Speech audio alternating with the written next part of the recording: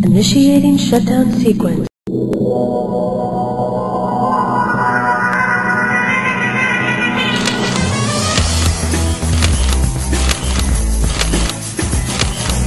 Online Education Gear. 여러분 안녕하십니까 온라인 교육기관 기사에서 화약류 강의를 하고 있는 이정훈입니다 어, 오늘의 학습 목표는 화약류의 정의에 대해서 살펴보도록 하겠습니다 어, 이 화약류의 정의를 여러분들이 잘 아신다면 어, 전체적으로 일반 화약학 파트가 굉장히 수월하게 갈 수 있기 때문에 화약류의 정의에 대해서 어, 전체적으로 잘 살펴볼 필요가 있습니다 어, 전체적으로 어, 칠판에 판서를 많이 하면서 할 테니까 여러분들도 잘 따라와 주시기를 바랍니다. 자, 첫 번째.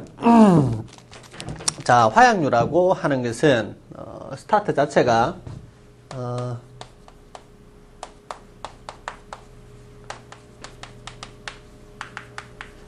예, 불안, 불안정 결합에서 이제 출발을 하게 됩니다. 어, 화약류는요, 어, 일단 터져야 되겠죠. 여러분들 잘 알고 계시는 화약, 폭약, 뭐 발파 이런 개념 자체는 결국은 터져야 하는 것이기 때문에 이 자체가 안정된 결합이라면 터지지 않겠죠. 그래서 불안정 결합이라야만이 어떤 그 폭발 반응식을 유도할 수 있는 것입니다.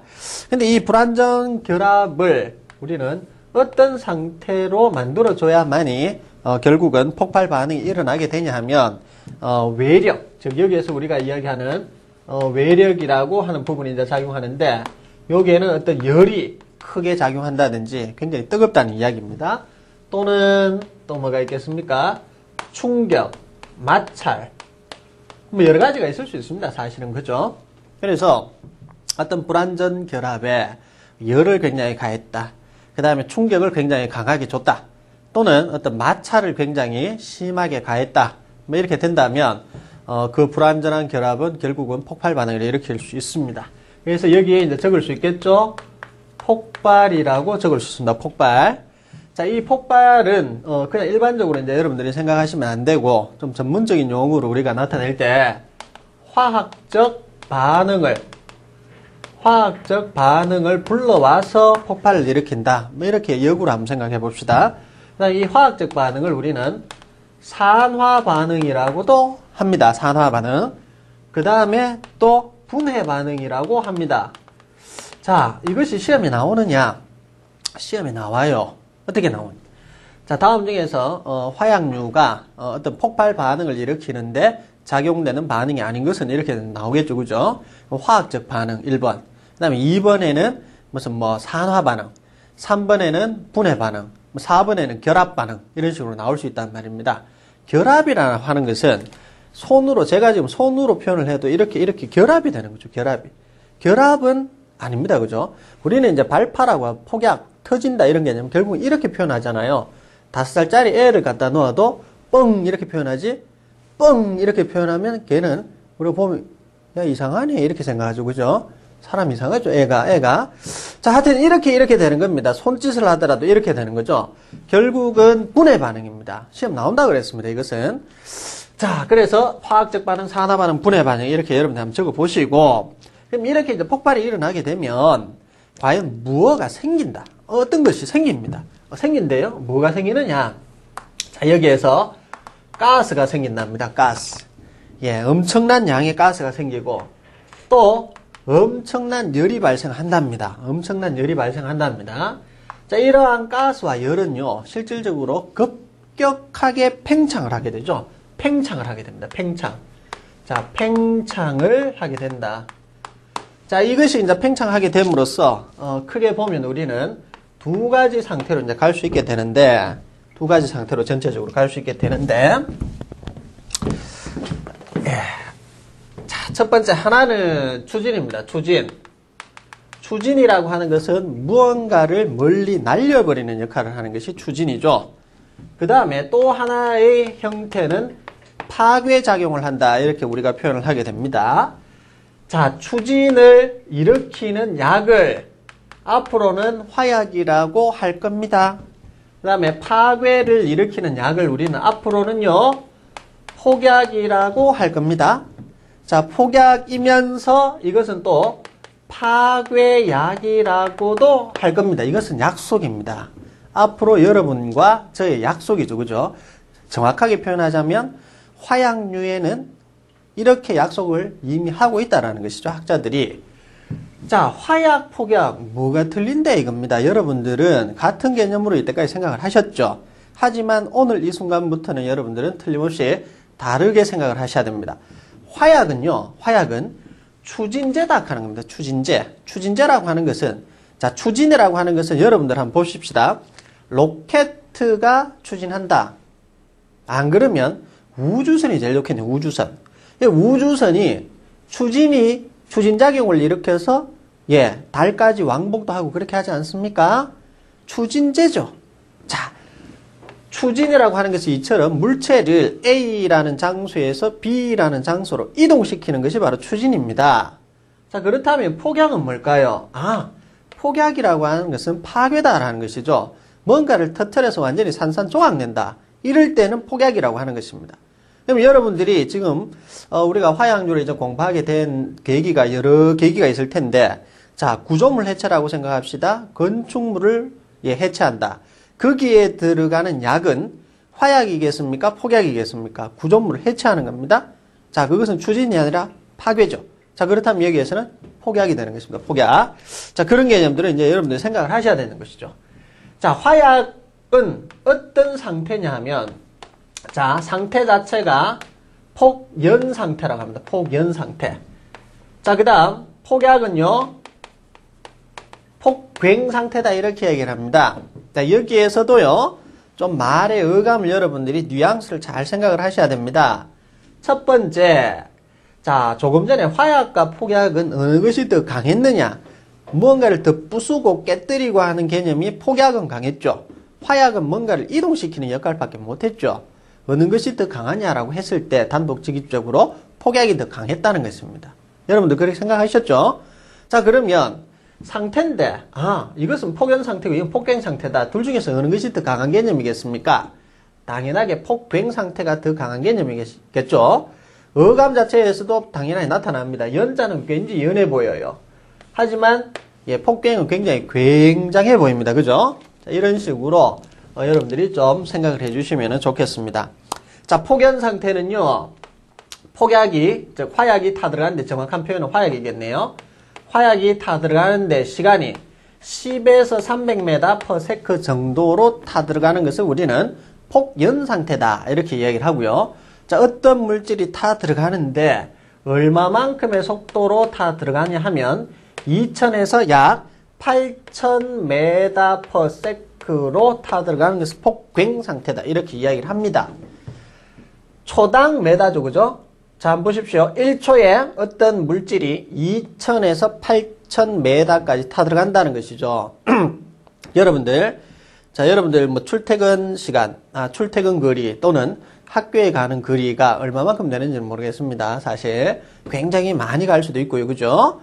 자, 그런데 8000m라는 것은 결국은 8km라는 이야기죠. 8km. 그러면 차를 타고도 한참 가야 됩니다. 8km 가려면. 그러나 이 8,000m per sec라는 것은 뭐냐면 1초에 8,000m를 타 들어간다는 이야기입니다. 자, 그랬을 때 우리가 한번 생각해 보죠. 머릿속으로. 자, 어떤 물질을 바닥에 이렇게 일직선으로 쭉 깔았어요. 일직선으로 쭉 깔아서 쭉 한 8km 정도씩 8km 정도 깔았습니다. 자, 불을 붙이든지 점화를 하든지 이렇게 딱 하니까 1초 하니까 벌써 8, 8km 타 들어갔다는 이야기죠. 자, 그것이 바로 뭡니까? 폭괭 상태라는 이야기죠. 그것은 타 들어가는 것이 눈에 보이지도 않겠죠. 그죠? 8km를 1, 1초 만에 가니까 어떻습니까? 예. 어, 굉장히 빠른 속도로 타 들어간다. 즉, 이것을 우리는 폭괭 상태다. 이렇게 이야기를 하는 것이죠. 자, 그것에 비해서 폭연은 어떻습니까? 예, 10m 정도밖에 못 타 들어가면 10m도 빠르죠, 사실은. 1초에. 1초에 300m 정도 타 들어간다. 이것도 빠르죠, 사실은. 그죠? 여러분, 100m 뛰면은 몇 초에 뜁니까? 예, 저는 참고적으로 12초대에 뜁니다, 사실은. 지금은 좀 나이가 먹어서 어떻게 뛰는지 제가 재보지는 못했습니다만은 한창 시절에 한 12초대에 뛰었어요, 제가. 그러면 100m에 12초하고 이 게임 안 되죠, 그죠? 이 훨씬 빠릅니다. 자, 그럼 보십시다. 어, 예, 이건 300이고, 이건 2에서 8km 정도로 간다고 하는 것이니까, 당연히 이것도 또 굉장하죠. 예, 자꾸 전체적으로 뉘앙스 자체가 밑쪽이 자꾸 더 빠르고 더 세고 그런 개념이 자꾸 잡혀집니다. 자, 근데 이게 시험 나오느냐? 예, 시험 나와요. 시험 나옵니다. 어떻게 나오냐 하면 이렇게 또 나옵니다. 자, 여러분들 혹시나 아시는지 모르겠습니다. 비행기가 날아갈 때 우리가 어 뭐 소련의 수 슈라고 하죠. 슈. 소련의 슈 뭐 이렇게 비행기 같은 경우는 날아가다가 공중에서 이렇게 똑바로 섰다가 또 날아가고 이렇게 날아가죠. 희한한 비행기 있습니다. 여러분들 혹시나 인터넷 검색 가능하시면 지금 당장 해로 좋습니다. 슈 이렇게 치면은 소련의 무슨 무슨 비행기로서 뭐 최고 속도는 2.7마 뭐 이런 식으로 나오죠. 그 마하라는 것이 뭐냐 하는 것이죠. 마하. 여기 잠시 적어볼까요? 자, 이 마하, 1마하, 2마하 이렇게 이야기를 하는데 1마하는요. 음속으로 이야기를 합니다. 음속. 우리가 소리를 야, 개똥아 이렇게 불렀을 때 소리가 가는 속도를 우리는 마하라고 음속이라고 이야기를 합니다, 여러분들. 그러면은 이 음속은요. 1초에 몇 메다를 가냐면 예, 보통 340m per 정도 간다라고 알려져 있죠. 사실은 이것은 뭐 이렇게 풍향이나 그 다음에 어떤 뭐 기온에 따라서 조금 차이는 있습니다. 하지만 일반적으로 340m per 간다는 이야기죠. 그럼 1마라는 이야기는 1초에 340m 간다는 이야기입니다. 2마는요. 계산됩니까? 되죠? 2마는 1초에 680m를 가는 속도다 이겁니다. 그럼 여러분들 어떻습니까? 예, 제트기나 이렇게 뭐 이렇게 그 저 뭡니까? 어, 제트기라든지 안 그러면 이런 뭐 어, 공군에서 최신의 뭐 전투기 이런 것들은 2마하, 뭐 2.5마하, 3마하 이렇게 가지 않습니까? 그럼 초당 예, 1000m를 넘게 간다는 얘기죠. 돌아버리죠, 사실은. 그죠? 여러분 KTX 타보셨죠? KTX도 사실은 빠르죠. 근데 사실은 뭐 크게 그거는 뭐 우리가 속도감을 느끼거나 그런 건 없습니다만은 전투기 같은 거 타면은 아, 전투기 굉장히 빠릅니다. 그래서 뭐 1G, 2G 상태에서 뭐 갑자기 뭡니까 그 뭐 진공으로 바뀌고 뭐 이런 어떤 상태로 되기 때문에 사람이 실신을 하기도 하죠. 자, 어쨌든 좋습니다. 자, 이 이야기를 제가 왜 드렸냐면 이 340m per sec를 기준으로 해서 이것보다 적게 타 들어가는 것, 즉 이것보다 속도가 낮은 것을 폭연이라고 하고 이것보다 빨리 타 들어가는 것을 폭괭이라고 예 치는 그렇게 어, 명명한 학자들도 있다 하는 것이죠. 그 시험 나오니까 제가 말씀을 드려야 되겠죠, 그죠? 그러면 어, 떤 사람은 폭연은 아까 전에 이야기를 했습니다. 10에서 300m per sec고 폭갱은 2000에서 8000m per sec라고 했는데 어떤 학자들은 340m per sec를 기준으로 해서 그것보다 적게 타 들어가는 것, 그것보다 속도가 늦은 것은 폭연이라고 하고 그것보다 속도가 빠른 것을 우리는 폭굉이라고 한다. 그렇게 말하는 학자들도 있다 이거죠. 자, 그래서 이것은 다시 지우겠습니다. 지우고요. 자, 폭연과 폭굉 어, 한번 살펴봤습니다. 자, 이제부터 우리는 폭굉에 대해서 전체적으로 한번 살펴볼 거예요. 폭굉에 대해서 폭굉에 대해서 굉장하니까 적어도 우리는 다이나마이트를 배워야 되고 폭약을 배워야 되고 하기 때문에 결국은 예, 폭갱에 대해서 보다 더 세부적으로 살펴볼 필요가 있다라는 것이죠.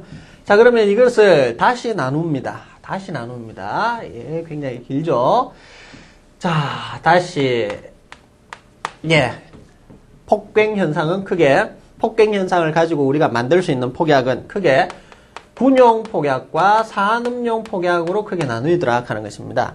자, 지금 이 강의를 들, 들으시는 분, 분들 중에서는 뭐 경찰 쪽에 계시는 분이나 군, 군, 자, 군, 군 쪽에 계시는 분, 또 특수한 어떤 부대에 계시는 분들도 듣지 싶은데, 어, 자, 군용 폭약과 산업용 폭약이 이처럼 나누어집니다. 처음부터 이렇게 나누어져요.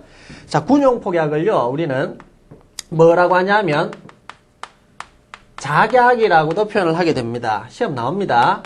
산업용 폭약을 우리는 폭파약이라고 이야기를 해요. 자, 군용 폭약의 대표적인 폭약들이 지금 한번 적어볼까요? TNT, 또 그 다음에 P slash A라고 하는데 피크린산입니다. picric acid 이렇게 해서 피크린산이라고 표현을 하고요.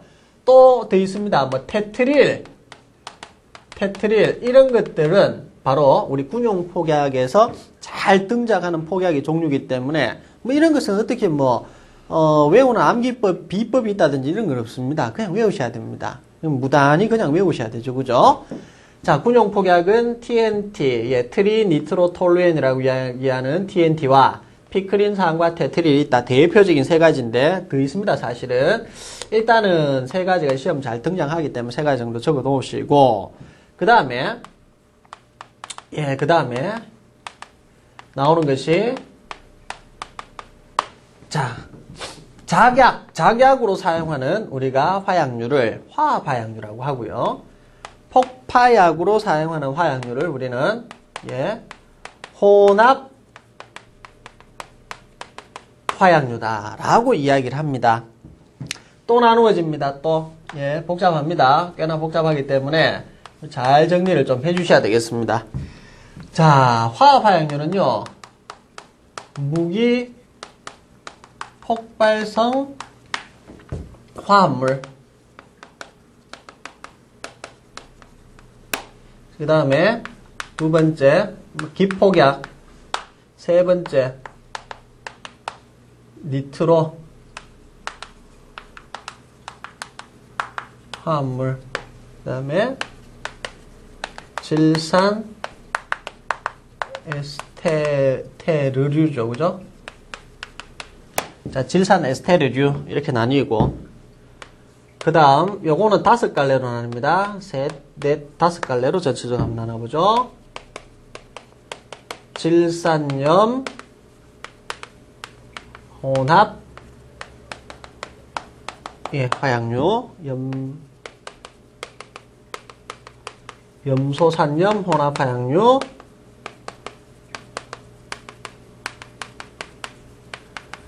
과염소 산염 혼합 화약류 그 다음에 액체 폭약과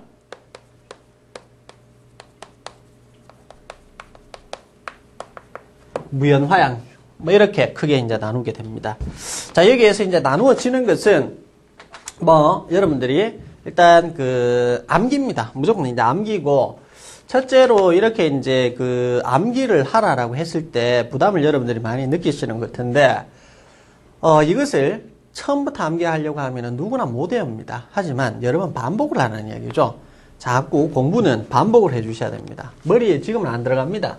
일단은 받아 적으시면 적, 받아 적기만 적어 놓으시고 어, 외우는 것은 아무래도 어, 시험일이 가까우면 가까울수록 뭐 어떻습니까? 여러분들 외우시기에 훨씬 나아집니다. 하여튼 지금은 부담 가지시지 말고요. 자, 질산염, 염소산염, 그 다음에 과염소산염. 자, 이것들은 산소 공급제로 쓰인다. 이렇게 이제 적어 놓으셔야 되고, 아, 두 번째 기폭약인데, 내홍, 아지화연, DDMP. 자, 이렇게 한번 적어보시고, 그 다음에 화합화약류는 같이 설명을 드리겠습니다. 니트로 화합물 같은 경우는 뭐 TNT, DNT, TNN, DNN, 또 다음에 RDX, 그 다음에 피크린산, 테트릴 이런 것들이 있고요. 그 다음에 질산 에스테르류는 대표적인 니트로그리세린, 니트로셀룰로스, 니트로그리콜, 니트로글리콜, 그 다음에 PETN이라고 펜트리트가 있습니다. 펜트리트. 자, 여기에서는요, 어, 여기에서는요, 자, 무기폭발성 화합물부터 한번 보도록 하는데, 이 무기폭발성 화합물은 질산염, 염소산염, 과염소산염이라 그래서 산소 공급제로 사용이 된다라고 말씀을 드렸고, 자, 여기에서는 산소 공급제다 이렇게 되어 있는데, 자, 요즘에서 제가 반드시 한번 찍고 넘어갈 필요성이 있는 게 있겠네요. 뭐냐 하면, 연소입니다, 연소. 자, 연소의 3요소입니다. 연소의 3요소. 이것은 쓰고 지울 겁니다, 앞으로. 자, 연소의 3요소 외우십니다. 가산점으로 외웁니다. 가산점. 자, 가연물. 그리고 산소 공급제. 그 다음에 점화원 세 가지. 첫 번째, 두 번째, 세 번째. 그러니까 3요소겠죠. 그죠? 자, 가연물이라고 하는 것은요. 탈 수 있는 물질은 전부 다 가연물입니다. 자, 여러분들 화면에 지금 뭐가 보이십니까? 칠판이 보이죠? 칠판 이거 나무로 만들었겠습니까? 예, 나무로 만들었으면 타겠죠. 안타깝게 이것은 예, 철판댁입니다. 사실은 철판입니다. 자, 하여튼 좋습니다. 뭐 여러분들 지금 보이시는 게 딱 지금 제 머리카락이 좀 보이겠습니다. 머리카락이 탑니까? 탑니다. 어떻게 해요? 잘 타죠? 예, 가연물입니까? 가연물입니다. 옷은요. 제가 입고 있는 이 옷은 와이셔츠는 셔츠 타죠? 가연물입니다.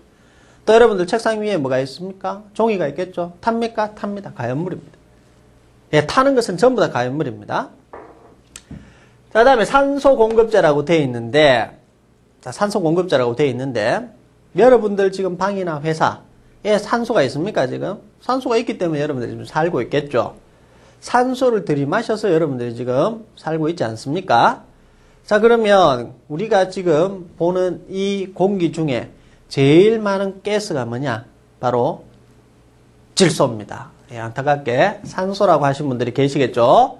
산소는 공기 중에 21%밖에 없어요. 대부분이 질소입니다. 질소는 79%입니다. 79%. 아시겠죠? 예. 그러면 산소가 21% 정도 있다. 이것은 과연 어, 지금 연소의 3요소 중에서 지금 산소 공급제라고 되어 있는데 공기에는 이미 산소가 들어가 있기 때문에 예, 탈 수 있는 충분한 양이 된다라는 것이죠. 충분한 양이 된다.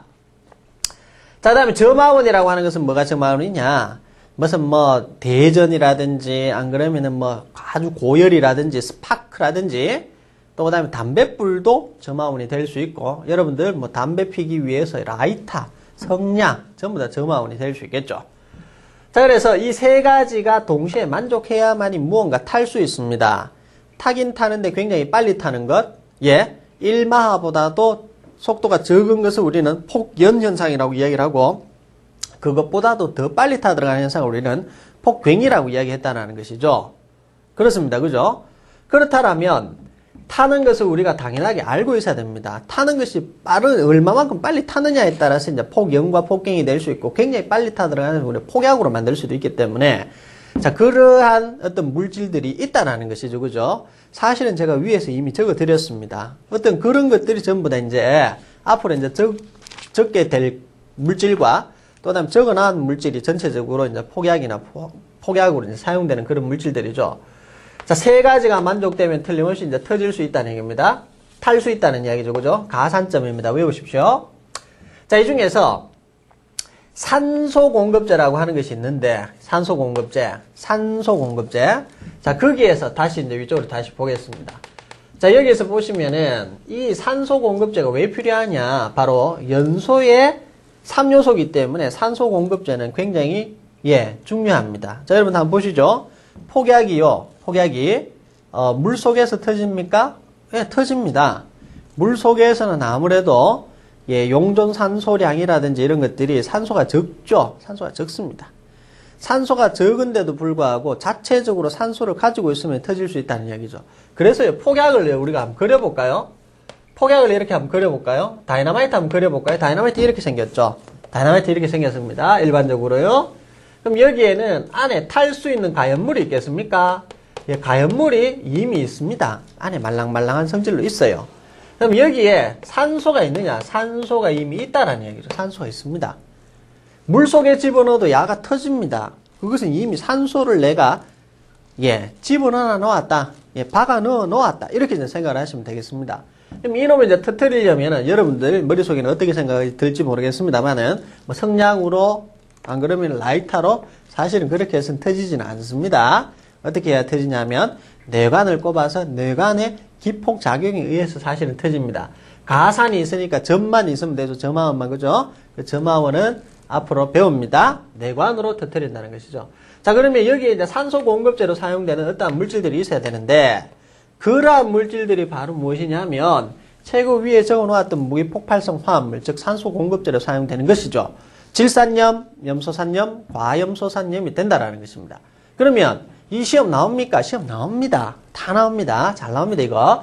다음 중에서 산소 공급제가 아닌 것은 맞는 것은 뭐 이렇게 틀립니다. 어, 이렇게 나옵니다. 그러면 여기에서 반드시 아셔야 돼요. 산자가 다 들어가 있죠. 산자. 이거 체크하시면 돼요. 산자. 예, 산소 공급제는요, 자기 몸속에 이미 산소를 가지고 있는 놈들이기 때문에, 예, 산자가 다 들어가 있다는 것입니다. 그럼 산자 안 들어가 있는 거 찾으면 되겠죠, 일반적으로, 그죠? 예, 그게 이제 시험 문제를 푸는 키 포인트가 될 수 있다. 자, 그럼 넘어갑니다. 예, 화합 화약류의 두 번째 나오는 것이 바로 기폭약입니다. 기폭약. 자, 이 기폭약은요, 크게 보면은, 이제 내홍아지화연 DDMP 이렇게 이제 이야기를 하는데, 이 세 가지 물질들은 굉장히 어떻습니까? 예민합니다. 예민한 반응을 하죠. 조금만 이렇게 톡 쳐도 탁 터진다든지, 안 그러면 조금만 건드려도 화를 쉽게 내는, 뭐 사람에 따지자면 굉장히 뭡니까? 좀 다혈질적인 그러한 성향을 가지고 있는 예, 물질입니다. 그것이 바로 이제 기폭약인데, 자, 내홍, 내홍. 왠지 뭐 홍자가 들어가니까 좀 빨갈 것 같고, 좀 열 잘 받을 것 같고, 그렇게 보인다, 그죠? 내홍. 이렇게 됩니다. 자, 이 내홍은요, 어, 다른 말로는 뇌산수원2라고도 합니다. 뇌산수원2. 2는 뭐 이렇게 됐습니다. 2는. 뇌산. 뭐 수은2라 그래가지고, 뭐 이렇게 다른 명명이 있습니다. 자, 다음에 아지화연이 있습니다. 아지화연. 아지화연도 마찬가지 나변자겠죠. 그죠? 나변자. 그러다 보니까 다른 표현이 있는데요. 뭐 여러분들 적어 놓습니다. 질화납이라고 합니다. 나변자니까 질화납이라고도 표현을 합니다. 그 다음 DDMP는 어떻게 되냐면 디아조 디니트로페놀이라고 합니다. 디아조 디니트로 예, 페놀 뭐 이렇게 이제 이야기를 하죠. 세 가지 예, 굉장히 못된 성질을 가지고 있다. 조금만 건드려도 쉽게 폭발할 수 있는 그런 물질들이 되겠습니다. 자, 그 다음에 니트로 화합물이 있습니다. 이 니트로 화합물. 자, 니트로 화합물은요. TNT를 여러분 많이 들어보셨죠? 트리니트로톨루엔. 그 다음에 디니트로톨루엔. 트리니트로라는 말, 트리라는 말은 세 개라는 말입니다. 세 개. 니트로기가 세개 있는 것을 트리니트로 이렇게 이야기를 하고 이 디니트로죠. 그죠? DI 이렇게 되죠. D-I-N-I-T-R-O 이렇게 되니까 어, 결국은 니트로기가 두 개 있다 이런 말씀입니다. 그 다음에 TNN은 뭐냐 하면 예, 트리니트로 나프탈렌 그 다음 디니트로 나프탈렌 RDX 이것은 우리가 헥소겐이라고 이야기합니다. 헥소겐 헥소겐 그 다음에 아까 이야기했죠? 피크린산 피크린산 그 다음에 테트릴 이런 것들이 있습니다. 테트릴 이런 것들이 있습니다. 자 여기에서 여러분들 하나 짚고 넘어가셔야 될 게 있습니다. 니트로 화합물은요 어떠한 성질을 가지고 있냐면 자연분해가 없고 흡습성이 없다. 적어 놓으셔야 됩니다. 자, 이것은요, 뭐, 어디다 한번 적어 볼까요? 여러분들 나름대로 한번 적어 봅니다. 니트로 화합물은 자연분해가 없고, 없다는 뭐 이렇게, 어, 가위표를 하도록 하죠. 자연분해가 없고, 흡습성이 없다. 뭐가 없느냐? 니트로 화합물이 이렇습니다. 중요한 표현입니다. 자연분해라고 하는 것은 자연적으로 가만히 놔도 또 분해하는 성질이죠. 확 이렇게 분해하더라. 그러면 분해라는 반응은 결국은 폭발 반응이라고 앞서 말씀을 드렸지 않습니까? 자연적으로 분해한다 이 말이죠. 굉장히 별로 좋지 못한 성질입니다. 안전성이 없어요. 우리가 저것을 뭐 이렇게 뭐 사용하기 위해서 자연 분해가 일어난다 이러면 자연적으로 터질 수 있는 거니까 굉장히 위험한 것을 뜻합니다. 흡습성이 없다 이렇게 돼 있는데 자 흡습성이 없는 것은 일반적으로 막 그나마 좋다 이렇게 봅니다. 왜냐하면 흡습 물기를 빨아당기면은 뭐 폭약이 보다 더 위험해질 수도 있고 뭐 때에 따라서는 뭐 어, 더 나빠질 수도 있고 성능이 나빠질 수도 있고 뭐 이렇게 될 수 있겠죠. 그죠? 그래서 자연분해 성질과 흡습성이 없는 것이 니트로 화합물이다. 정리하셔야 됩니다. 정리하셔야 돼요. 자그 다음에 어, 뒤쪽에 이제 나오는 것이 뭐냐 하면은 뒤쪽에 나오는 것이 있는데 RDX 피크린산 테트릴 있죠. 이 세 가지 색깔은 육안으로 확인하면 백색입니다. 백색. 요것도 하나 적어 놓도록 합니다. 백색이다, 흰색이다 하는 것이죠. 그죠? 자, 그 다음에 밑에 있습니다. 니트로그리세린, 질산 에스테릴이 굉장히 중요한 것인데, 질산 에스테릴은 어떤 성질이냐면, 자연분해의 성질이 있고요. 자연분해의 성질이 있고, 흡습성이 없습니다. 자연분해의 성질이 있고, 흡습성이 없다. 제가 조금 전에 말씀드렸습니다만, 자연분해의 성질이 있으면 좋은 성질입니까? 나쁜 성질입니까? 예, 나쁜 성질입니다. 나쁜 성질. 자연분의 성질을 가지고 있대요. 자기 혼자 터질 수 있다는 것을 말합니다. 흡습성이 없다 이렇게 되어 있죠. 그죠? 흡습성이 없다는 것은 일반적으로 뭐 좋은 성질로 보여집니다. 자, 질산 에스테르류는요. 한 집안이라고 생각하십시오. 한 집안이다. 한 집안. 한 집안이다. 그럼 집에는 누가 있느냐? 예, 집에 네 식구가 있답니다. 하나, 둘, 셋, 네 식구가 있어요. 이 네 식구 중에서 식구에는 아버지가 있고 어머니가 있고 그 다음에 뭐 이렇게 있겠죠 그죠? 자 이건 어떤 식구냐면 니트로그리세린 이건 라지지입니다. 대문자 G죠 그죠? 아빠입니다 아빠. 아빠입니다 아빠. 자 다음에 니트로셀룰로스 C죠 C. 니트로셀룰로스. 예 요것을 우리는 삼촌이라고 해요 삼촌. 삼촌이다.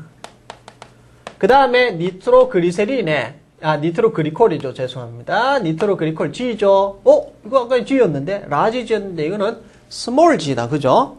예 그래서 이것을 우리는 아빠의 분신인 아들이라고 합시다 아들. 자 마지막 PENT 어 이상합니다. 전부 다 니트로 니트로 니트로 이렇게 성이 니트로 가였는데 니트로 C였는데 여기서 어떻습니까? PC죠. 음 집안에 성이 다른 사람이 한 명 있죠. 그죠? 성이 다른 사람.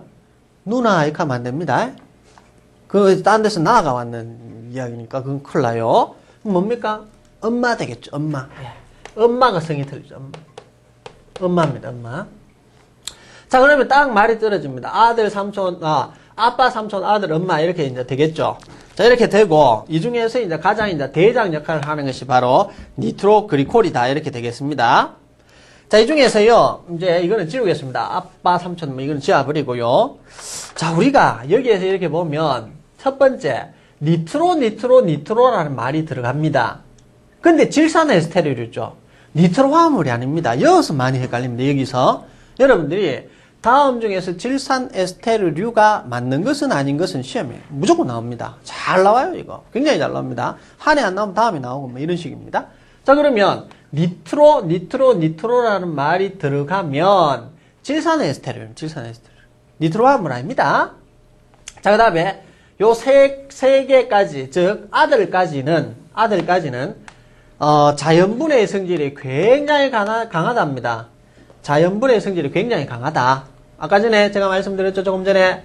질산의 새로운 자연분해 성질이 있는데, 자연분해 성질이 이 세 가지는, 즉, 전부 다 아들들이고 남자들이죠, 그죠? 굉장히 강합니다. 굉장히 강해요. 펜트리트는 엄마 시집 왔죠. 다른 집안에서 시집을 오다 보니까 원래는 자연분해 성질이 별로 없었대요. 근데 집에 와서 아빠하고 같이 한 뭐 아들 놓고 살다 보니까 따라가겠죠. 그죠? 아빠가 성질이 더러운데 그러면 엄마도 더러워지겠죠. 같이 그죠? 자, 그래서 어떻습니까? 자연분의 성질이 있긴 있습니다. 근데 원래 천성이 착한 사람이다 보니까 자연분의 성질이 예, 보다 약하다 이렇게 한번 적어볼까요? 보다 약하다. 이렇게 한번 적어보도록 하겠습니다. 이렇게. 자, 그 다음에, 자, 전체적으로 뭐 니트로 그리세린, 니트로 셀룰로스, 니트로 그리콜. 조금 누리띡띡한 색깔입니다. 뭐 액체상, 액체상으로 있으면 뭐 무색이고 이런 표현이 있고, 뭐 또 공업용은 뭐 노란색이고 뭐 이런 표현이 나오는데, 일단 앞에 거는 색깔은 생각하지 마시고, 이거 한번 생각해보죠. 엄마, 엄마의 색깔 한번 생각, 엄마. 엄마는 무슨 색을 지정해 주느냐? 엄마의 색깔은 과연 뭘까? 여러분들이 한 궁금해 한번 생각해보면 엄마는 무슨 색 줘야 되겠노? 굉장히 많은 색이 있지 않습니까? 256 색입니까? true color? 예, 하여튼 굉장히 많은 색으로 여러분 생각해보면 여러 가지 색깔이 나올 수 있을 텐데 그래도 엄마는 한국적인 정서에서는 흰색이 안 맞겠습니까? 예, 엄마는 왠지 고결하고 순수하고 모든 것을 뭐 아들 또 그 다음에 아빠한테 이렇게 어, 이렇게 바치는 그런 뭐 아주 고결한 뭐 그런 상태니까 그런 분이니까 뭐 흰색을 주도록 하죠. 혹시나 뭐 여러분 뭐 검은색 이렇게 생각하셨으면 좀 이상한 분이고 하여튼 흰색이 좋을 것 같아요. 음 그래서 이건 어떻습니까? 예 펜트리트 색깔은 흰색입니다. 흰색 백색이죠. 그런데 조금 전에 한번 봅시다.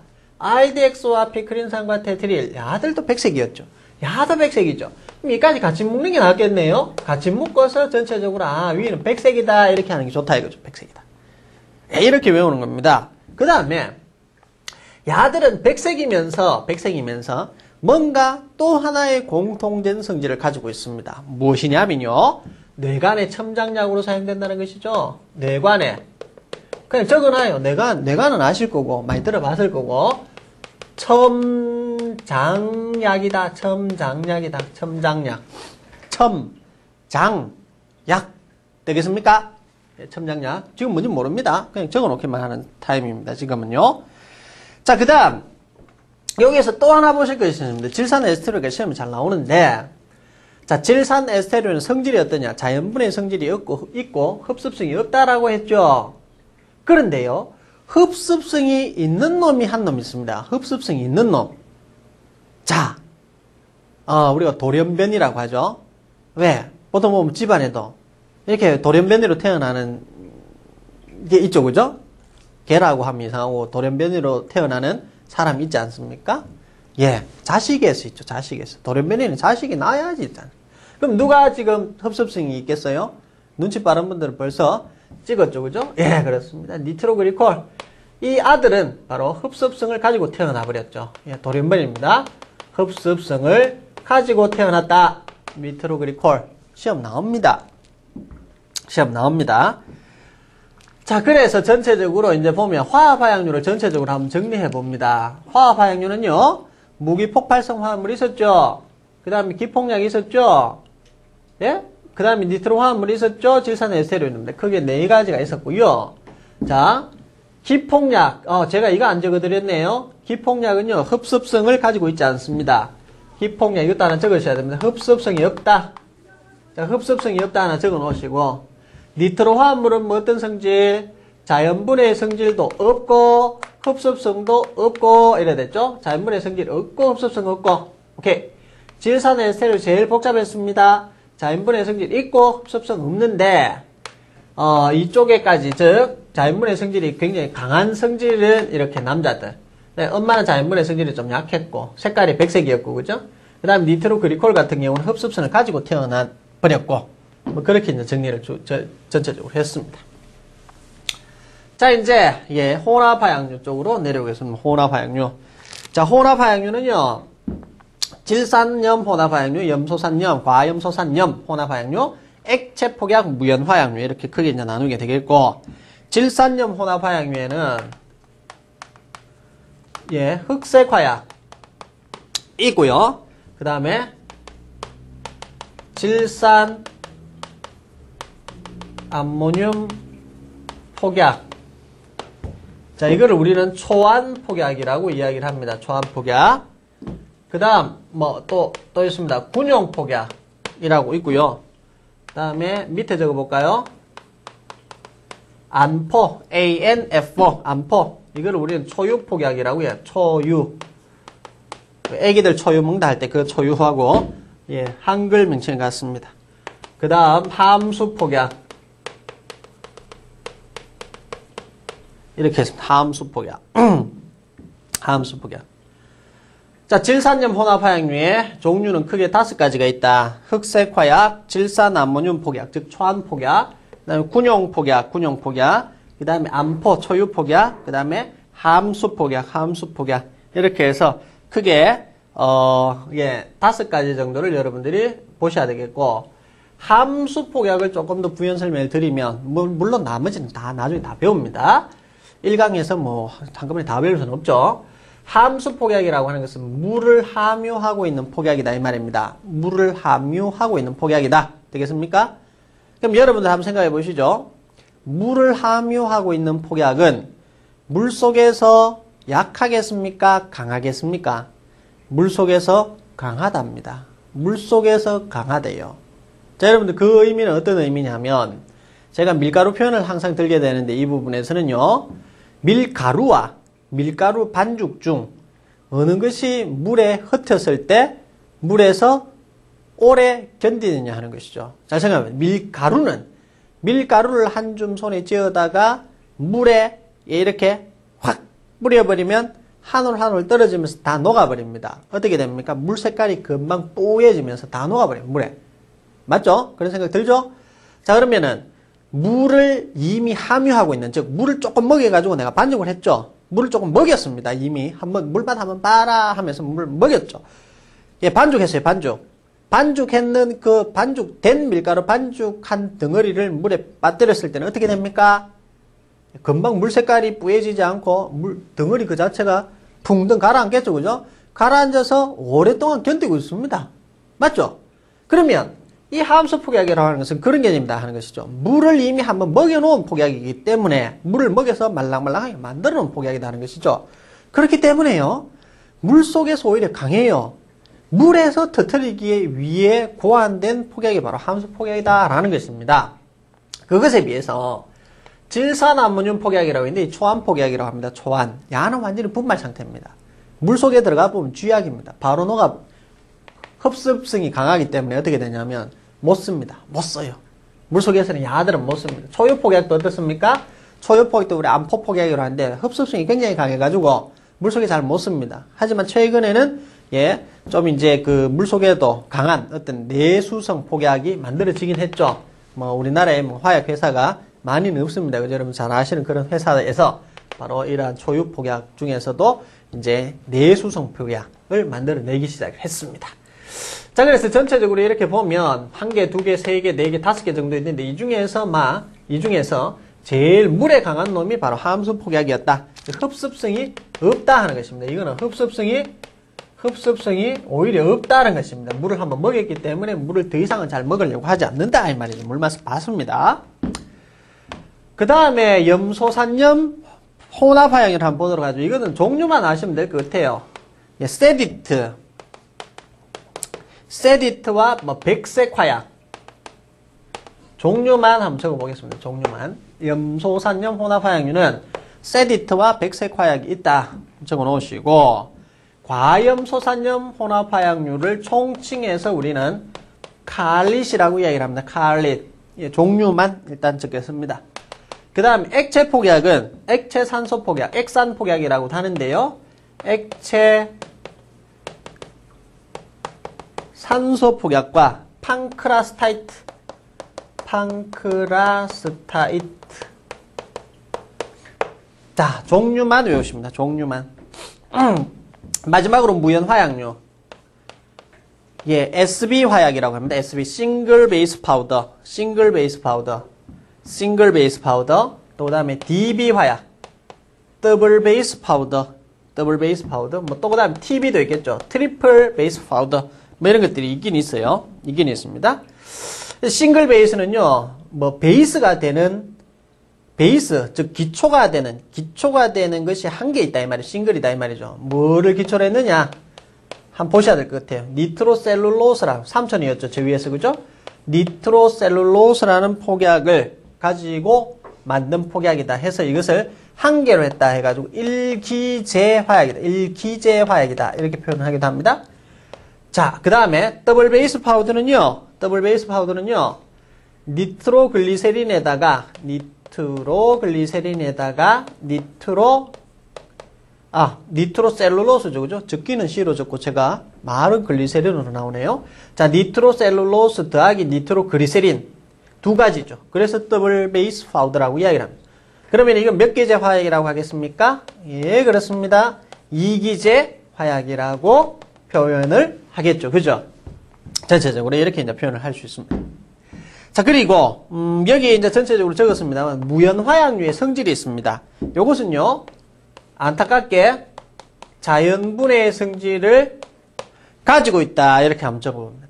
자연분해의 성질을 가지고 있다. 무연화약류는 가지고 있다. 그 전에, 혼합화약류 또 하나 적어보겠습니다. 혼합화약류. 자연분해의 성질이 없고 흡습성을 가지고 있다. 화학적으로 안정하다. 이렇게 한번 적어봅니다. 화학적으로 안정하다. 음. 자, 이렇게 이제 여러분들 적으셨는데, 어, 혼합화약류는 성질이 어떠냐? 크게 세 가지, 자연분의 성질이 없다. 자연분의 성질이 없다는 이야기는 지 혼자, 자기 혼자 뻥 터지는 역할을 하지 않는다는 이야기입니다. 흡습성이 있다. 물을 이렇게 빨아당기면은 아무래도 폭약에는 좀 별로 좋지 못한 성향을 많이 가지고 있겠죠. 자, 하지만 자연분의 성질이 없대요. 가만히 놔두면은 자기 혼자 터지는 성질이 없다. 이 말하고 일맥상통하죠. 무슨 말? 화학적으로 안정하다는 말과 일맥상통합니다. 그래서 화학적으로 안정하단 말이에요. 오래 놔둬도 지 혼자 터지는 역할이 없으니까 대부분은 그렇습니다. 다섯 가지 중에서 대부분 그래요.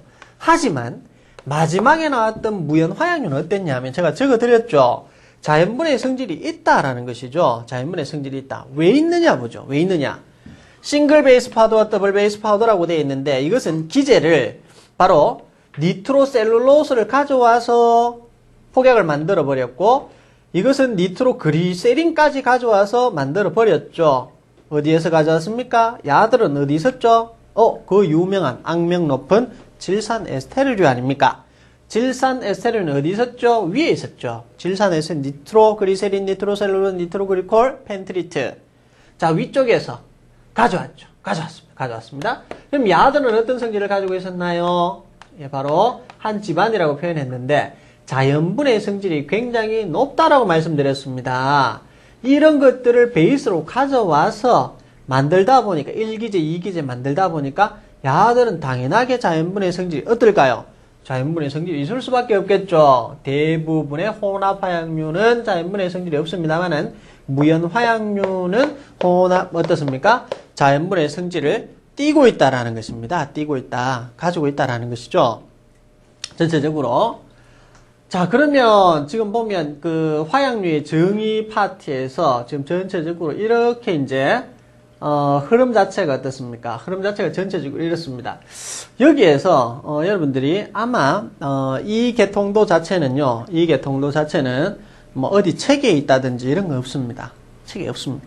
만일 책에 지금 뭐 어딘가에 뭐 여러분들 뭐, 뭐 다음 카페라든지 안 그러면 뭐 블로그라든지 예를 들어 뭐 지식아연이라든지 이런 류의 어떤 개통도가 나와 있다면 이것은 아마 제 거를 모방한 것일 것입니다. 제가 이걸 전체적으로 개통도를 다 그렸습니다.